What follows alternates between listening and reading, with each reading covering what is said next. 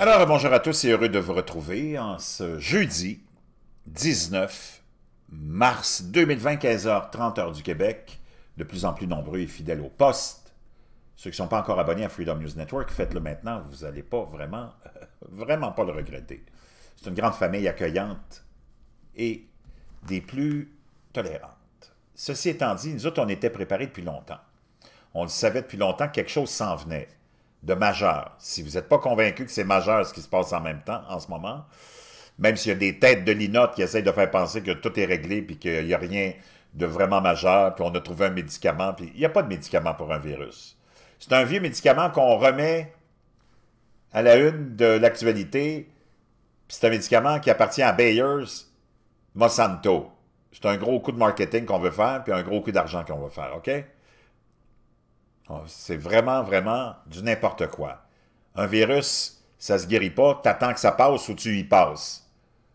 Puis celui-là, il fait pas exception aux autres.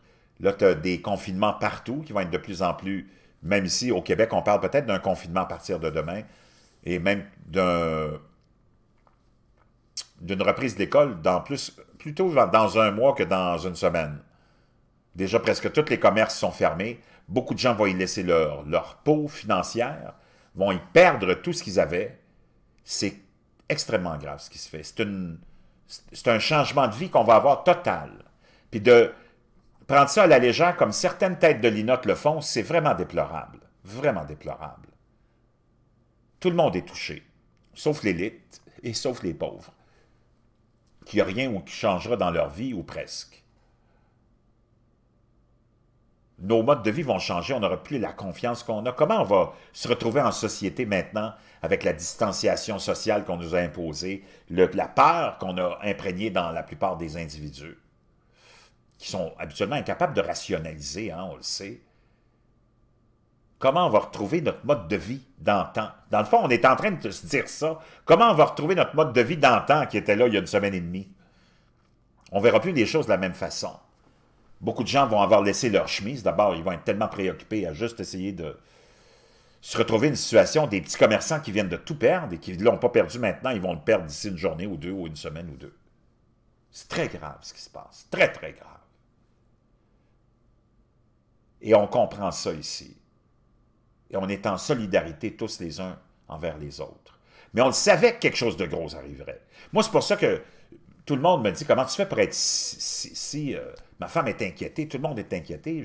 C'est parce que, comme je vous l'avais dit, moi, ça fait longtemps que je préparais au pire. Mentalement. Donc ça, ça arrive, puis je me dis, qu'est-ce que je fasse? Je le savais, quelque chose de gros arriverait. Précisément quoi, je ne sais pas. Mais quand tu te prépares au pire, quand le pire arrive, ben, n'as pas de choc émotionnel, parce que tu t'attendais à ça, puis même tu disais, voyons, ça a bien été long avant que ça arrive, ça, ce choc-là, cette catastrophe-là. Donc, d'être préparé à ça, ça fait que quand le choc arrive, ou quand, c'est-à-dire quand l'événement arrive, tu n'as pas le choc qui fait que tu vas être à terre puis tu ne seras pas capable de t'en remettre avant deux semaines, trois semaines, un mois, puis souvent il est trop tard. Moi, déjà, j'étais vraiment pas surpris puis étonné de rien.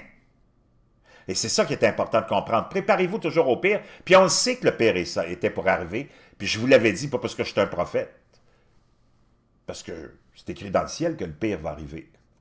Puis ça, c'est pas le pire. Ce qu'on vit là maintenant, le confinement, c'est encore confortable. Vous êtes entre vous. Vous êtes réconfortés par les gouvernements qui sont là à tout vous dire « Oh mon Dieu, on va s'occuper de vous de tout. On va s'occuper de vous. » Là, on vous réconforte. Donc là, c'est même pas encore le pire. Le pire, c'est quand tout va être fini puis que vous allez être laissé à vous-même puis que le gouvernement, il sera pas là pour faire ce qu'il avait dit qu'il était pour faire. Puis que tu vas te retrouver le bec à l'eau, toute la vie va avoir changé, tu auras tout perdu. Le pire n'est même pas encore arrivé, parce que là, tu es dans l'événement, tu as eu le choc, le, choc est passé parce que es dans, tu vis l'événement, puis on vit tout ça ensemble, puis c'est comme nouveau, puis c'est comme c'est presque comme excitant. Puis tout le monde est là pour te réconforter, les médias sont là pour te réconforter, tes, tes, tes artistes sont là de chanter des petites chansons gratuites sur le net, puis le gouvernement est là, en train de te dire Oh, t'inquiète pas, on va être là, on va t'occuper de tout. Puis Là, t'es même pas dans le pire. Qu'est-ce qui va arriver quand tu vas être encore une fois laissé à toi-même, tout seul? Puis que tu vas te rendre compte que là, ils sont plus là pour te chanter des petites chansons parce qu'on est passé à autre chose. Puis que tu es laissé tout seul dans une économie qui va être complètement foirée, complètement ultra privatisée, puis qu'il te restera juste ton ombre pour t'accompagner. Pense à ça. C'est loin d'être terminé, parce que là, on vit tout ensemble quelque chose, puis ça, c'est comme là, on est tous dans l'espèce d'euphorie de ce qui se passe. T'as les autres qui chantent en Italie, partout en Europe, ça chante sur leur balcon.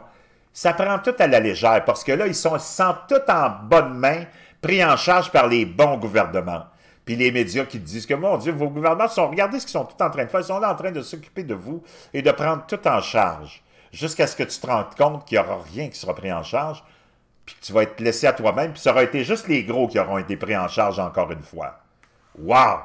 Encore une fois, on s'est fait avoir, mais pas nous autres, parce que nous autres, on le sait, que le pire, il n'est pas arrivé. Puis on était déjà préparé à l'histoire, à la catastrophe, mais là, on est pris entre euh, cette euphorie, ce qui se passe, puis on prend ça à la légère. Mais quand le réveil va vraiment arriver, nous autres, on sait déjà c'est quoi l'outcome, ce qui arrive, ce qui, nous attend. Nous autres, on le sait ici, donc il n'y a rien qui va nous déranger. Mais ceux qui vont tomber de haut parce qu'ils vont avoir écouté toutes ces têtes de linotte-là leur dire que oh, tout va bien, on chante, on joue au ping-pong par la fenêtre, puis...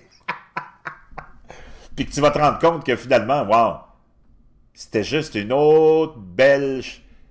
On était en train de te faire du bel canto, puis de te chanter la pomme, puis que tu vas te retrouver encore une fois tout seul. Le pire, il n'est pas arrivé.